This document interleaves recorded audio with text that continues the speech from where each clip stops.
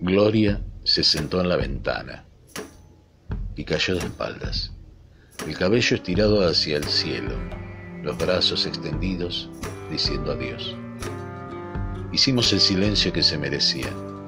Cerramos los ojos a tiempo. Se sacudieron nuestros huesos como si también nos hubiéramos estrellado contra el pavimento. Aquí nos dividimos.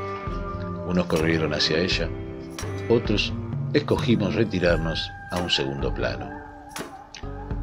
La policía vino por nosotros, nos preguntó por ella, por sus circunstancias, por sus allegados, por la relación que tenía con cada uno de los testigos.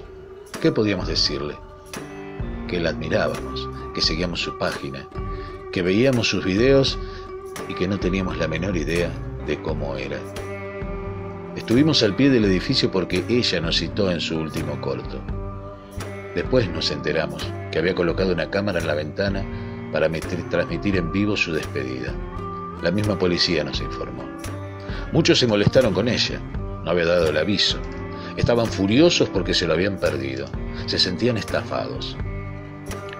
Me fui de la sala donde nos habíamos reunido sin discutir con esos energúmenos. Ella había querido que la acompañáramos. Les parecía poco. Éramos 200 escogidos para asistir a su única actuación en persona. ¿Qué más pretendían? Nos había dado sus ingeniosas crónicas, sus poses sugerentes, sus chistes políticamente incorrectos. Nos había hecho entrar en su cocina, en su dormitorio, en su baño incluso cuando defecaba. La habíamos visto masturbarse para nosotros. Gloria nos había dado todo, hasta que no le quedó nada más que ella misma.